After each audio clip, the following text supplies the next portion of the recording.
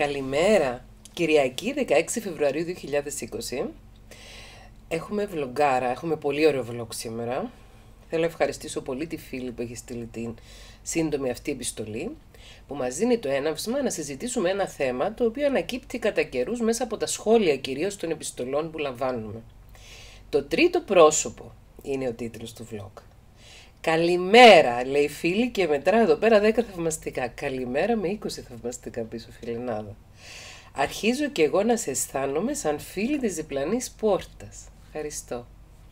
Δεν φανταζόμουν ποτέ πως το ψυχρό ίντερνετ θα είχε ένα παραθυράκι τόσης ανθρωπιάς. Το ίντερνετ είναι μέσον και το χρησιμοποιούμε ανάλογα με τις προθέσεις μας και τα κίνητρα μας. Μια μεγάλη μου απορία θέλω να καταθέσω. Λοιπόν, ακούστε προσεκτικά γιατί είναι σύντομα αυτά που γράφει η φίλη, αλλά ουσιαστικά. Όλες οι φίλες και οι γνωστές μου που έχουν τελικά χωρίσει, θεωρούν πως το τρίτο πρόσωπο έχει τη μεγαλύτερη ευθύνη. Τα γράφει έτσι με κεφαλαία, έντονα, bold γράμματα και θαυμαστικά πάλι. Μάχομαι να τους πείσω, το μάχομαι είναι κυπριακό. Είναι το αρχαίο ελληνικό μάχομαι που σημαίνει πολεμό, αγωνίζομαι σημαίνει, προσπαθώ. Μάχομαι να τους πείσω πως κάθε τρίτο πρόσωπο βρίσκει μια πορτούλα ή ένα παραθυράκι ανοιχτό και τρυπώνει. Αλλά μάλλον ο θυμός και η ματέωση δεν τους αφήνει να το δουν. Άρα μιλάς για θυμό και ματέωση, frustration. Ματέωση, το αίσθημα ματέωσης, θυμός και ματέωση. Το, τα λέω για να τα θυμάμαι στη συνέχεια που θα σου απαντήσω. Η ερώτηση μου είναι αν πράγματι σε έναν όσο γίνεται ισορροπημένο γάμο, μπορεί ένα τρίτο πρόσωπο να επέμβει πεισματικά και να το διαλύσει στο τέλος. Χίλια ευχαριστώ και πάλι. Λοιπόν, κάντε καφέ. Εγώ έχω φτιάξει εδώ πέρα το μεγάλο το φιντζάνι τον καφέ, έτσι πρωί πρωί. Να το πιούμε για να ζεσταθούμε. Κάνει κρύο και εκεί που είσαστε εσείς. Και να συζητήσουμε για αυτό το θέμα, το οποίο, ε, όπως είπα και προηγουμένως, συχνά το συναντάμε και το συναντάμε στα σχόλια. Στα σχόλια διαφόρων επιστολών, που κατακρίνεται και, κατα... και κατακατακρίνεται το τρίτο πρόσωπο.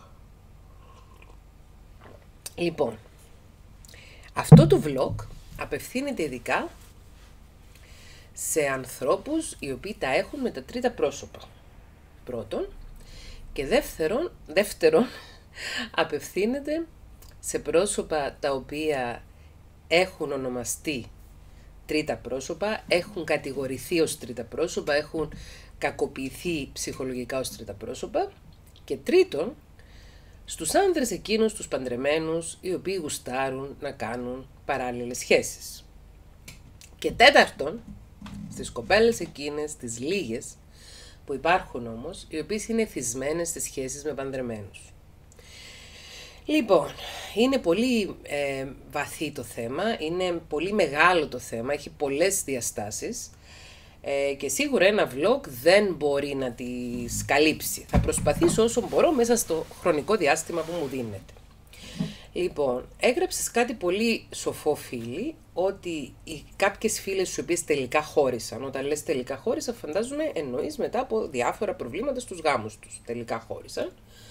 Ε, από θυμό και ματέωση τα ρίχνουν όλα στο τρίτο πρόσωπο. Καταρχάς θέλω να πω ότι δυστυχώς ζούμε σε μια κοινωνία η οποία δεν είναι λειτουργική. Δεν είναι λειτουργική η κοινωνία μας και οι ανθρώπινες σχέσεις μέσα στην κοινωνία μας και οι γάμοι μέσα στην κοινωνία μας επέρχονται μεγάλες κρίσεις. Υπάρχει κρίση, υπάρχει κρίση ανθρωπιστική στους γάμους μας, στις ερωτικές μας σχέσεις, στη σχέση μας με τον εαυτό μας, στη σχέση μας με τους άλλους. Έχουμε χάσει τρόπον δεινά την πηξίδα μας. Τα, στα παλιότερα χρόνια υπήρχαν διάφορες πηξίδες που μας καθοδηγούσαν, τους περισσότερους η θρησκευτική πηξίδα.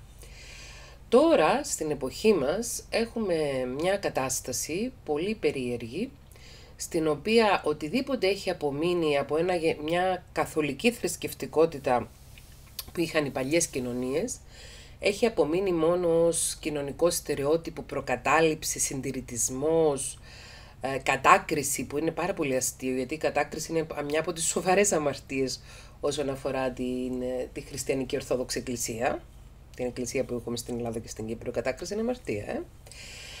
Ε, υπάρχει έτσι μια σύγχυση πνευματική θα έλεγα σύγχυση υπαρξιακή θα έλεγα σύγχυση και λειτουργούμε όπως να είναι δίνοντας πάρα πολύ, ε, πολύ περισσότερη έμφαση στους τύπους, στους κανόνες, στο φαίνεσθε, στο τι θα πει ο κόσμος και λιγότερη έμφαση και καθόλου στην ουσία της ζωής και στο σεβασμό της ανθρώπινης ψυχής και αξιοπρέπειας.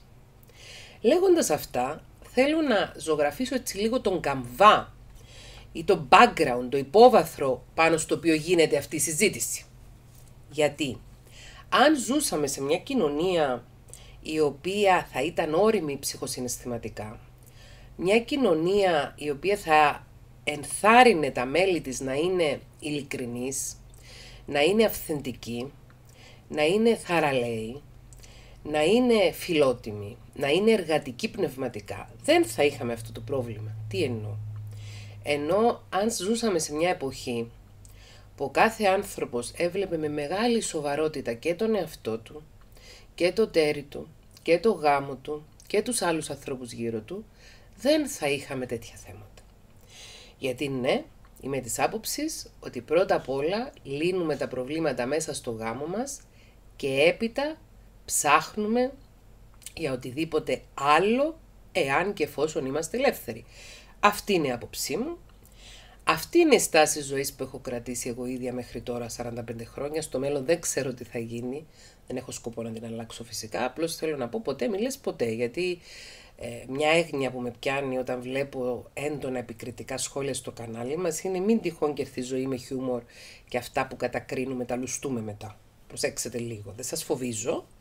Απλώς από την πείρα μου με τους ανθρώπους και την προσωπική και την επαγγελματική έχω δει ότι πολλές φορές έρχεται η ίδια ζωή και σου μαθαίνει με το δύσκολο τρόπο, μέσα από προσωπική οδύνη και πόνο, ότι αυτό που κατηγορούσες, αυτό που το, το, το κατέκρινες, το έχεις λουστεί. Εντάξει. Λοιπόν, ε, η γνώμη μου είναι ότι ένας παντρεμένος άνδρας, εφόσον τώρα μιλάμε για γυναίκες που είναι τρίτα πρόσωπα, ένας παντρεμένος άνδρας οφείλει ό,τι πρόβλημα έχει με τη γυναίκα του να το συζητάει με τη γυναίκα του, ό,τι του λείπει από το γάμο του να το διεκδικεί, να ανοίγει το στόμα του και να μιλάει, και να είναι διατεθειμένος να μπαίνει σε ουσιαστική συζήτηση με τη σύντροφό του, γιατί όταν ένας παντρεμένος άνδρας έχει ελλείμματα και λήψεις από το γάμο του, δεν σημαίνει ότι η γυναίκα του είναι μια χαρά. Και αυτή θα έχει λήψει. Και αυτή θα έχει ελλείμματα. Γιατί οι άνθρωποι είμαστε συνήθως εγωκεντρικοί. Και βλέπουμε μόνο τα δικά μας. Λέμε, εγώ τώρα σε αυτό το γάμο έχω αυτό το πρόβλημα. Εμένα σε αυτό το γάμο μου λείπει αυτό, μου λείπει το ένα, μου λείπει το άλλο. Δεν διαρωτόμαστε όμως πώς είναι ο άλλος ο άνθρωπος που είναι μαζί μας, πώς είναι η γυναίκα μας. Πώς νιώθει η γυναίκα μας, είναι καλά η γυναίκα μας. Ή πολλές φορές μπορεί να προσπαθεί η γυναίκα μας να μας πει πως δεν είναι καλά, αλλά εμείς δεν την ακούμε. Η γνώμη μου είναι ότι ένας παντρεμένος άνδρας οφείλει να διεκδικεί αυτά που δικαιούται από το τέρι του και οφείλει να έχει την ψυχική δύναμη και τα κότσια να είναι σε συνεχή ανοιχτή επικοινωνία με τη σύντροφό του. Αυτά τα στυλάκια του είμαι άντρας βαρύς και σήκωτο και δεν μιλάω για τα συναισθήματά μου και δεν εκφράζομαι και είμαι κλεισμένος στον εαυτό μου και με ρωτάει η σύντροφός μου τι έχω και λέω όχι τίποτα δεν έχω ή δεν έχει να κάνει με σένα, έχει να κάνει με τη δουλειά, αρνούμε την πραγματικότητα και μετά σιγά σιγά αρχίζουν τρύπες και τρυπούλες και μέσα στη ψυχή μου και μέσα στο οικοδόμημα, είναι μια μεταφορά αντιλαμβάνεστε αυτή που χρησιμοποιώ, και μέσα στο οικοδόμημα της σχέσης μου και μετά μπορεί να βρω τον εαυτό μου εγώ ίδιος έστω και αν δεν είμαι γυναικάς, έστω και αν δεν είμαι μαθημένος, έστω και αν είναι το στυλάκι μου αυτό, να τα, το παίζω σε διπλό ταμπλό. Βρίσκω τον εαυτό μου ερωτευμένο με μια άλλη γυναίκα, εγωιτευμένο από μια άλλη γυναίκα, εγωιτευμένο από την περίπτωση να έχω μια άλλη γυναίκα. Αυτό το πράγμα σημαίνει ότι φταίω 100% εγώ σε αυτή την περίπτωση. Λοιπόν, η γνώμη μου είναι ότι οι άντρες πρέπει τα θέματα τους να τα συζητούμε με τη γυναίκα τους, τα προβλήματα που έχουν από το γάμο τους να συζητούμε με τη γυναίκα τους, να είναι διατεθειμένοι να πηγαίνουν σε ψυχολόγο μαζί με τη γυναίκα τους για να βελτιώσουν το γάμο τους, γιατί συγγνώμη, μπήκατε στη διαδικασία να παντρευτείτε, το κάνατε, ε, θέλω να πιστεύω με τη θέλησή σας και θέλω να πιστεύω ως όριμη επιλογή, οφείλετε να στηρίξετε την επιλογή σας και να προσπαθήσετε μέχρι τέλους. Εγώ το μόνο που έχω να πω για τον πρώτο μου γάμο Δόξα ο Θεός, ο δεύτερος μου γάμος πάει καλά, προς το παρόν, γιατί τίποτα εγώ δεν το θεωρώ δεδομένο. Με την έννοια του ότι καμία κατάσταση δεν είναι δεδομένη, κανένας άνθρωπος δεν είναι δεδομένος, καμία συνθήκη δεν είναι δεδομένη. Γι' αυτό λέω προς το παρόν, όχι ότι δεν θέλω να πάει καλά φυσικά και θέλω να πάει καλά και γι' αυτό και παντρεύτηκα. Όμως, οτιδήποτε συμβεί θα το αντιμετωπίσουμε. Έτσι αντιμετωπίζω τη ζωή πάντοτε. Λοιπόν, ε, η γνώμη μου είναι ότι δεν απατούμε το τέρι μας. Δεν υποστηρίζω την απιστία. Δείχνω όμως ενσυναίσθηση και κατανόηση στους ανθρώπους οι οποίοι βρίσκονται εμπλεγμένοι στα δίχτυα μιας απιστίας. Και αυτοί οι άνθρωποι είναι τρεις. Είναι αυτός που απατάει, είναι το απατημένο πρόσωπο, το απατώμενο πρόσωπο και είναι και το τρίτο πρόσωπο. Σαφώς, τη μεγαλύτερη ευθύνη για το να απατήσει την έχει αυτός που απατάει. Και όποιο δίκαιο τυχόν είχε από το γάμο του, από τις ελλείψεις από το γάμο του, από τα θέματα που, που είχε από το γάμο του προηγουμένως, το χάνει γιατί αντί να καθίσει σαν μάγκας και λεβέντες να συζητήσει τα θέματα του ή να χωρίσει προτού προχωρήσει παρακάτω, επιλέγει να προχωρήσει παρακάτω και να εμπλέξει και άλλα πρόσωπα μέσα σε αυτό το, τη συναισθηματική αναστάτωση του γάμου του και της ψυχής του και του μυαλού του. Λοιπόν, δεν είμαι υπέρ της των εξωσυζυγικών σχέσεων. Συμβαίνουν όμως. Προσέξατε ότι θα, δεν είναι υπερβολή να πω ότι μιας στις τρεις επιστολές έχει να κάνει με εξωσυζυγικές σχέσεις. Δεν είναι υπερβολή. Πραγματικά δεν είναι υπερβολή. Και ότι μιας στις τρεις επιστολές ε, που έχει να κάνει με εξωσυζυγικές σχέσεις, κυρίως έχει να κάνει με εξωσυζυγική σχέση άνδρα, ο οποίος απατάει τη γυναίκα του. Και συνήθως μας στέλνει είτε η γυναίκα του είτε η φιλενάδα του mail. Συμβαίνουν αυτά τα πράγματα. Δεν μπορούμε να κλείσουμε τα μάτια μας και να πούμε δεν συμβαίνουν. Ζω στον κόσμο μου και δεν συμβαίνουν.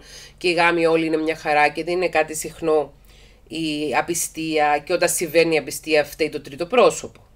Εντάξει, αυτή είναι η πλευρά του άνδρος. Αυτή είναι η άποψή μου για τους άνδρες. Φυσικά εδώ οφείλω να πω ότι στην Κύπρο τουλάχιστον γνωρίζω καλύτερα το κοινωνικό γίγνεσθε και θα ήθελα να διαβάσω το βιβλίο μου και, η, και την ανατομία μιας γυναίκας που βρίσκεται στην ιστοσελίδα μου θεκλαπετρίδων.com στη στήλη ηλεκτρονικές εκδόσεις αλλά και το βιβλίο μου και οι άνδρες έχω ψυχή που επίσης βρίσκεται στη στήλη ηλεκτρονικές εκδόσεις δωρεάν σε flipbook που μπορείτε να το κατεβάσετε να το διαβάσετε. Όσοι είστε στην λειτουργία συμμετοχή του καναλιού κάθε Δευτέρα ανεβάζω ένα βιντεάκι που διαβάζω ένα-ένα τα κεφάλαια της ανατομία μια γυναίκα, αλλά μπορείτε και εσείς να το διαβάσετε δωρεάν από την ιστοσελίδα. Λοιπόν, σας προτείνω να διαβάσετε αυτά τα δύο βιβλία, γιατί σε αυτά τα δύο βιβλία εξηγώ την κοινωνική κατάσταση στην Κύπρο, ειδικά τα προηγούμενα χρόνια, γιατί το, το πρώτο έχει γραφτεί το 2005 και το δεύτερο βιβλίο το 2011, που υπήρχε μια γενικότερη κοινωνική πίεση για πρόωρους γάμους και στις γυναίκες και στους άντρες, για γάμους προτού ολοκληρωθεί η διανοητική εξέλιξη του παιδιού, η προσωπικότητά του, δηλαδή οποιοδήποτε παντρεύεται πριν τα 28, πριν τα 29, πριν τα 30 είναι ανώριμος. Και αρκετοί από αυτούς τους γάμους καταλήγουν σε φιάσκο. Δηλαδή, όταν πλέον οριμάσεις, όταν πλέον μεγαλώσεις, όταν πλέον βρεις τον εαυτό σου, συνειδητοποιείς ότι είσαι παντρεμένος, είσαι παντρεμένη με κάποιον, με κάποιον που δεν σου κάνει, που δεν σου ταιριάζει. Μπορεί να σου φαινόταν πολύ γοητευτικός, πολύ γοητευτικής στα 20, στα 21, στα 22, αλλά τώρα στα 30, στα 35 δεν βρίσκεις να έχεις κανένα κοινό. Αυτό συμβαίνει. Και εδώ είναι που χρειάζονται τα guts, εδώ είναι που χρειάζονται τα κότσια, εδώ είναι που χρειάζεται η, η, η δυναμικότητα, ούτως ώστε να καθίσουμε προτού εμπλέξουμε άλλους ανθρώπους, προτού βρούμε άλλους ανθρώπους που να γίνουν ε, μαύρα πρόβατα, μαύρα πρόβατα σε αυτή μας την κατάσταση, να επιλύσουμε το θέμα εμείς οι δύο. Εμείς οι δύο οι οποίοι ακούσαμε τη μάνα μας, ακούσαμε τον πατέρα μας, ακούσαμε την κοινωνία, ακούσαμε δεν ξέρω εγώ τι άλλο, τον πεθερό μας, την πεθερά μας και πήγαμε και παντρευτήκαμε όταν ήμασταν πολύ μικροί και στην πορεία συνειδητοποιήσαμε ότι ο γάμος μας δεν μας ταιριάζει.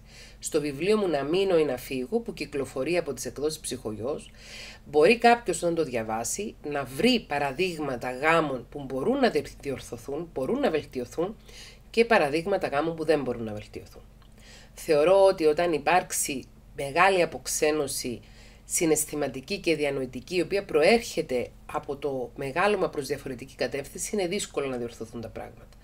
Ποτέ όμως δεν μπορείς να γνωρίζεις αν θα διορθωθούν ή όχι, αν δεν πιάσεις τον το σύντροφό σου, τη σύντροφος από το χέρι και αν δεν πάτε στο ψυχολόγο να κάνετε θεραπεία ζευγαριού και να δώσετε ευκαιρία σε αυτό το γάμο, που συνήθως υπάρχουν και παιδιά σε αυτό το γάμο.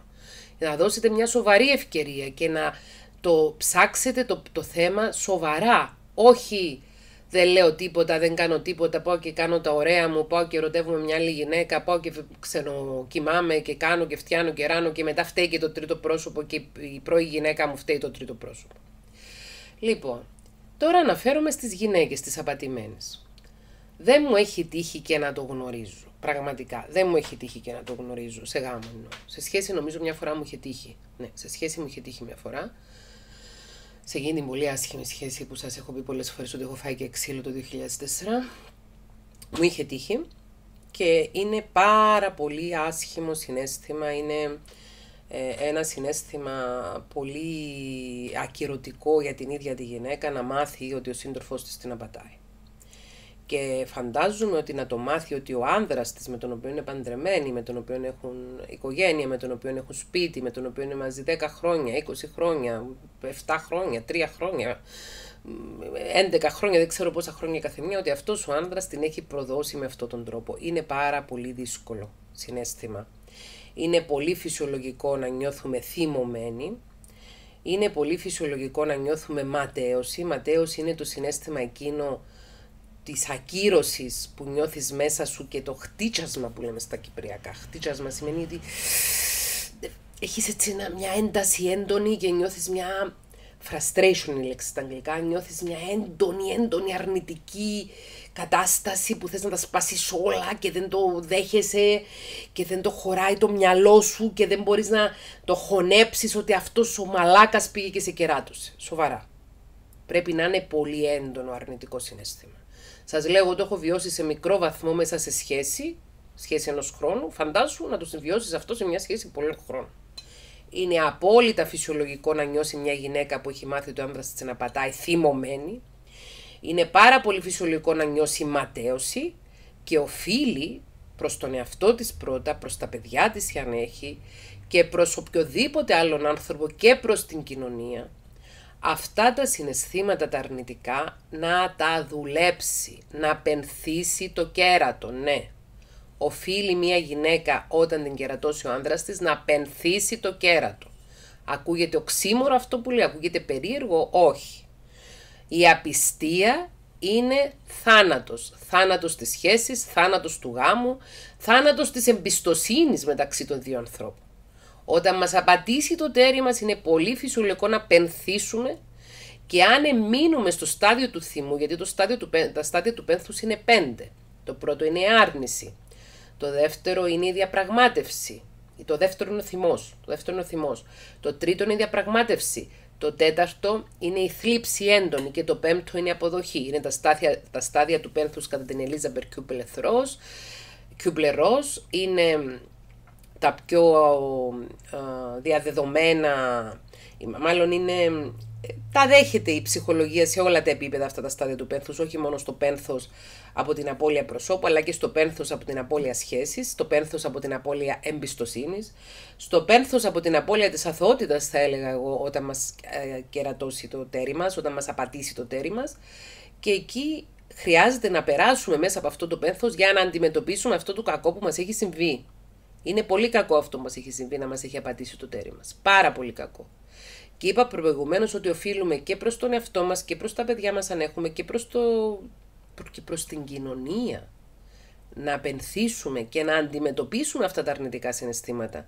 Αντί να τα προβάλλουμε ακατέργαστα, ομά, ε, υποσυνείδητα, ασυνείδητα και να τα βγάζουμε πάνω στο τρίτο πρόσωπο, εάν υπάρχει, πάνω σε ένα πιθανόν πρόσωπο που φανταζόμαστε ότι μπορεί να υπάρχει, ή πάνω σε όλες τις άλλες γυναίκες που μας έχουν πάρει τον άντρα.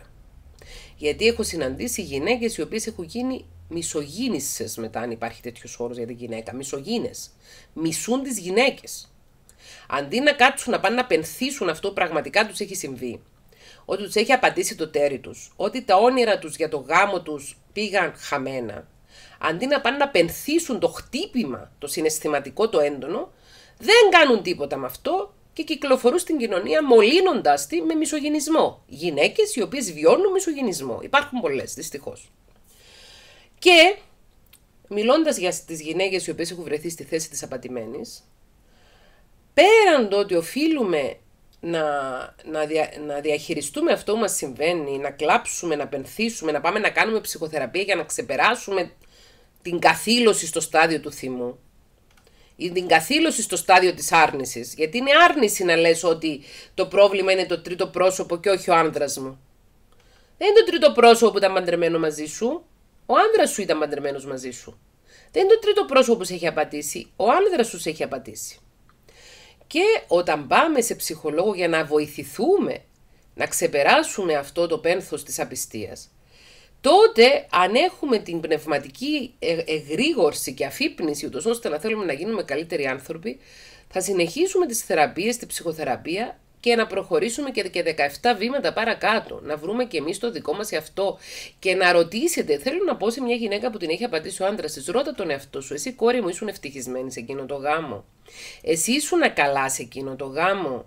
Ήτανε καλός για σένα εκείνος ο γάμος. Ήσουν εκεί που θα ήθελες να είσαι, όντως τον ήθελες αυτόν τον άνδρα. Και μπορεί, ναι, μπορεί να απαντήσει η γυναίκα, ναι, ήμουνα μια χαρά εκεί που ήμουνα, ναι, τον ήθελα εκείνο τον άνδρα, ναι, τον ήθελα εκείνο τον γάμο. Όμως, ακόμη και αν δεν ήταν τέλειος, αλλά εσύ τον βλέπεις τέλειο εκ των υστέρων, τον ήθελες, αλλά δεν μπορείς να τον έχεις. Και ως ενήλικες, δεν μπορούμε να λειτουργούμε ως δίχρονα που τους έχουν πάρει το παιχνίδι τους και κλαίνε και τσιρίζουν και πάνε και δαγκώνουν τα άλλα παιδιά, τους γονείς τους και δεν ξέρω τι άλλο και παίρνουν την αναστάτωση σε όλο το χώρο επειδή κάποιος τους έχει πάρει το παιχνίδι. Πάρει το απόφαση. Κανείς δεν είναι κανενός.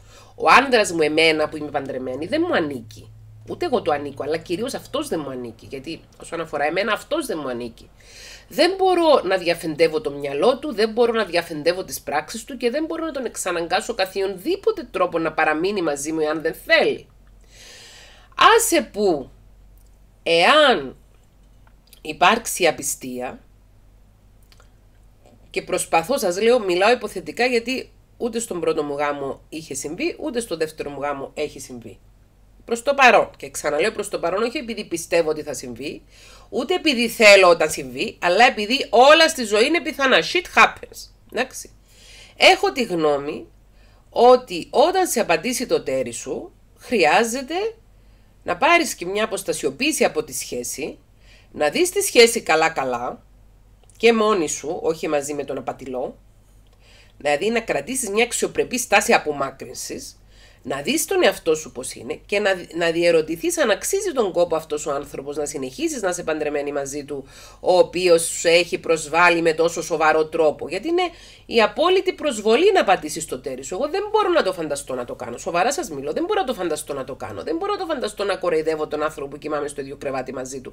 Δεν μπορώ να το φανταστώ να του λέω ότι τον αγαπάω ενώ την ίδια ώρα τον απατώ. Δεν μπορώ να το φανταστώ. Νομίζω θα. Δεν μπορώ, δεν, δεν υπάρχει δυνατότητα στο μυαλό μου.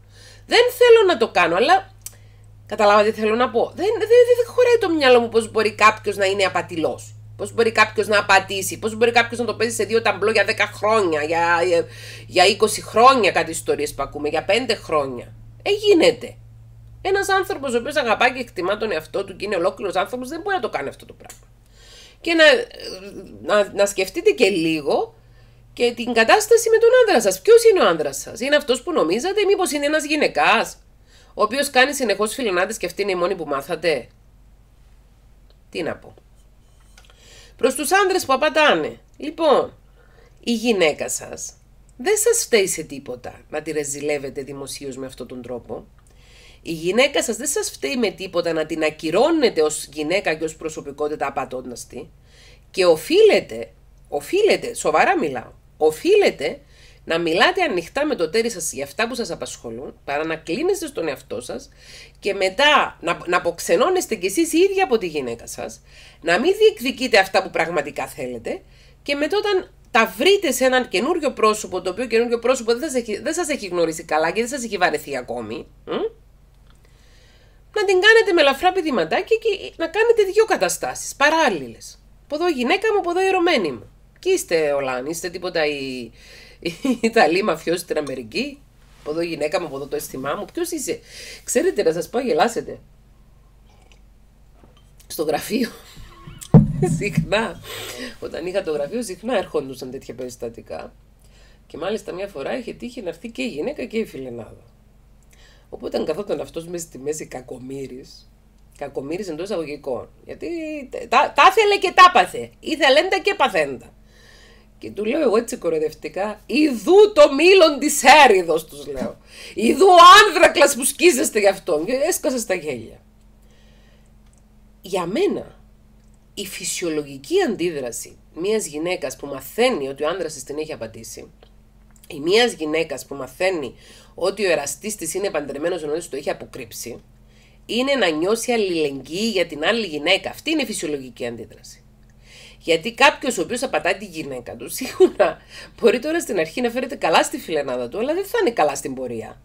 Ένας που το έχει να πατάει και ένας που δεν έχει τον ηθικό ενδιασμό να πατήσει, θα το ξανακάνει. Πάρα πολύ πιθανόν αυτό το πράγμα. Ή τέλος πάντων θα φερθεί με έναν τρόπο ο οποίος δεν θα είναι ειλικρινής. Γιατί τι είναι η απάτη, αντί να λύσω το πρόβλημά μου, πάω και κάνω άλλη σχέση. Έχετε ακούσει το τραγούδι που λέει ε, μόλις, ε, μόλις σε γνώρισα χώρισα. Ένα τραγούδι, είναι από αυτά τα λαϊκά. Μόλις σε γνώρισα χώρισα. Υπάρχουν κάποιοι άνθρωποι οι οποίοι έχουν αφήσει τη ζωή τους να κατρακυλήσει πάρα πολύ. Βρίσκονται μέσα σε γάμους που δεν είναι σε καμία περίπτωση ε, υγιείς και ζωντανοί γάμοι και εφησυχάζονται ούσου να περάσουμε. Σιωπά, σιωπούν για να περάσουν. Δεν το έχουν στο αίμα τους να είναι ε, κάποιοι άνδρες γυναικάδες, δεν το έχουν στο αίμα τους να είναι θυσμένοι στις σχέσεις, μένουν ε, χωρίς έρωτα με το τέρι τους ή μπορεί κιόλας να έχουν παντρευτεί και χωρίς έρωτα, μένουν εκεί πέρα από καθήκον, από πρέπει, από το ένα, από το άλλο και όταν γνωρίσουν τον έρωτα, τότε χωρίζουν από το τέρι τους και μετά ξεκινάνε τη σχέση. Όταν αγαπήσουν αλλού. Που και αυτοί έχουν ευθύνη.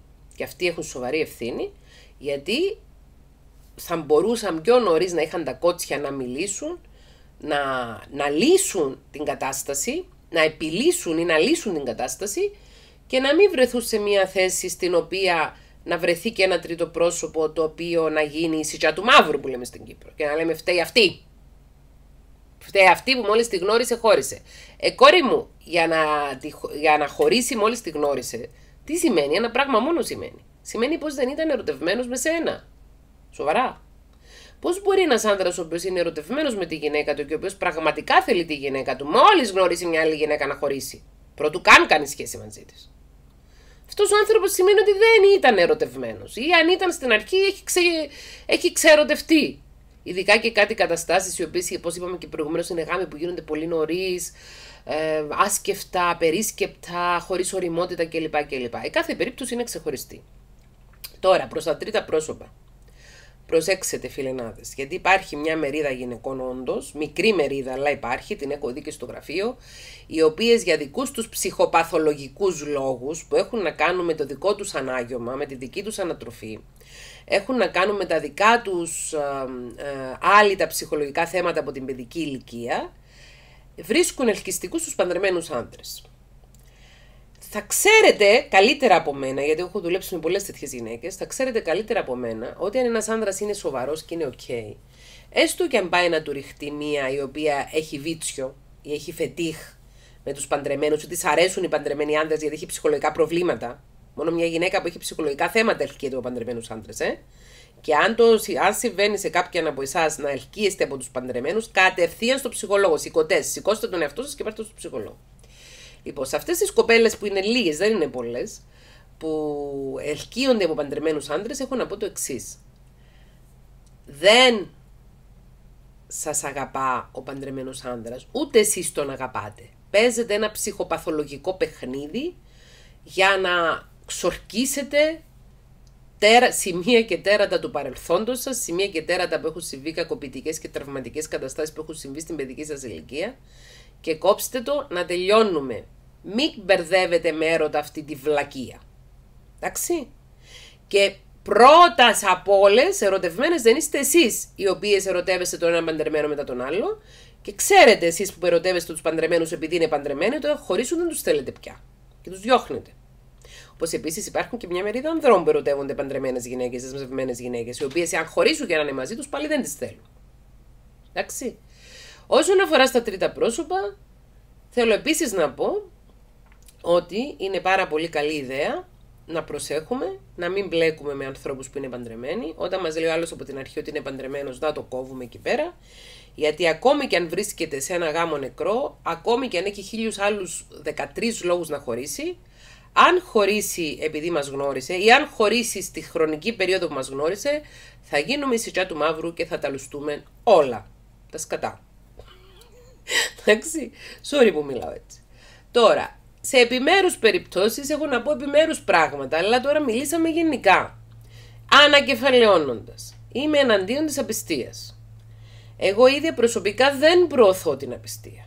Δείχνω όμως κατανόηση και στους ανθρώπους που βρίσκονται στη θέση του απατημένου ή της απατημένης και στα τρίτα πρόσωπα αλλά και σε αυτούς που απατάνε. Έχω γράψει τέσσερα βιβλία τα οποία αναφέρονται στις ερωτικές σχέσεις. Το πρώτο βιβλίο είναι «Ανατομία μιας γυναίκας». Το δεύτερο είναι «Και οι άνδρες έχουν ψυχή». Αυτά τα δυο μπορείτε να τα βρείτε και δωρεάν στην ιστοσελίδα μου να τα διαβάσετε σε flipbook κάτω από την ενότητα ηλεκτρονικές εκδόσεις. Έχω γράψει το βιβλίο Χαρούμενη μαμά, χαρούμενα παιδιά που είχε χτενείς αναφορές στο διαζύγιο και στην ανατροφή των παιδιών και στο γάμο. Και το βιβλίο μου Να μείνω ή να φύγω, αυτό το που έχει κυκλοφορήσει πέρσι από τις εκδόσεις Ψυχογειό, το οποίο στην ουσία είναι ένα χειρίδιο που σε βοηθάει είτε να καλυτερεύσεις το γάμο σου, είτε να διαπιστώσεις ότι ο γάμος σου δεν μπορεί να καλυτερεύσει. Σε καμία περίπτωση το πρόβλημα που χωρίζει ένα ζευγάρι δεν είναι το τρίτο πρόσωπο. Το πρόβλημα είναι το πρώτο πρόσωπο, δηλαδή ο άνδρας που απατάει. Το πρόβλημα είναι η σχέση. Το πρόβλημα ίσως είναι και το δεύτερο πρόσωπο, δηλαδή η γυναίκα του. Και το τρίτο πρόσωπο είναι ο τελευταίος τροχός της αμάξης, ο οποίος συνήθως γίνεται η σιτιά του μαύρου. Αυτές είναι οι απόψεις μου. Ξαναλέω ότι κανείς δεν ανήκει κανενός. Δεν μπορούμε να αξιώνουμε με ένα αίσθημα κυριότητας ότι εφόσον μας παντρεύτηκε ο άλλος είναι υποχρεωμένος να κάνει πάντα αυτά που θέλουμε εμείς. Είμαι φρεσκοπαντρεμένη όπως γνωρίζετε. Έχω παντρευτεί 8 του Σεπτέμβρη του 2018 τον άντρα μου τον Παναγιώτη, μετά από 15 χρόνια που ήμουν ελεύθερη μετά το τέλος του πρώτου μου γάμου. Είμαι πολύ συνειδητοποιημένα παντρεμένη, αγαπώ πάρα πολύ τον άντρα μου, θέλω πάρα πολύ ο γάμος μου να πάει καλά. Δεν θέλω σε καμία περίπτωση να φτάσουμε σε σημείο να υπάρξει απιστία ή να υπάρξει οτιδήποτε άλλο τραυματικό, όμως πάντοτε σκέφτομαι ότι όταν συμβεί οτιδήποτε θα το αντιμετωπίσουμε. Shit happens, life happens και προσπαθώ αντί να βάζω την ενέργεια μου στο να ζηλεύω δεξιά και αριστερά, βάζω την ενέργεια μου στο να καλυτερεύω τον εαυτό μου και τη σχέση μου. Αυτή είναι η άποψη μου για τα τρίτα πρόσωπα, τα πρώτα πρόσωπα, τα δεύτερα πρόσωπα και τους γάμους. Δεν ξέρω αν το καταλάβατε, αλλά χρειαζόμαστε μια γενικότερη κοινωνική αναβάθμιση, όλη η κοινωνία μας ένα update που λέμε στα αγγλικά, μία αναβάθμιση. Να επαναπροσδιοριστούμε σε σχέση με τους εαυτούς μας και την προσωπική μας ευθύνη. Να αναλάβει ο καθένας την προσωπική του ευθύνη και να σταματήσουμε να, να κάνουμε με τότε αποθυμένα μας δεξιά και αριστερά. Καλημέρα σας. Καλή Κυριακή εύχομαι.